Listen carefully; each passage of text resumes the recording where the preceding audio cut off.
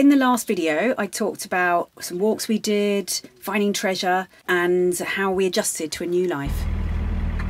So we're going to Parga, which is over there somewhere.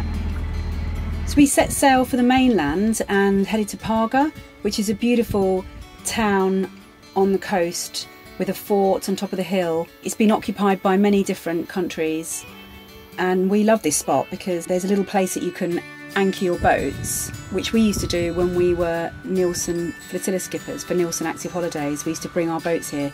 We were really surprised to actually see a flotilla coming in. It's really tricky. You have to bring your boat in and drop the kedge anchor at the stern and actually ground the boat on the sand. There's a strange little ledge there. You ground it and then you take the bow anchor and you carry it out by hand onto the beach and then you just dig it into the sand and that's how you create a, a raft of boats. So Woody um, found it fascinating watching them and um, reminiscing about his previous life. We even found some time to wander over the hill and into Parga town, wander around all the little alleyways and down to the seafront. It's a really nice place to visit if you can. Homeschooling is becoming more of a routine now, so we managed to squeeze that in, in the morning and um, even talk about this amazing place that we were in. We then set off to a secret little anchorage called Two Rocks Bay, which is south of Parga. Not many people know about it, but it is really worth a visit. On the way, we decided we were going to get the children more involved in the sailing.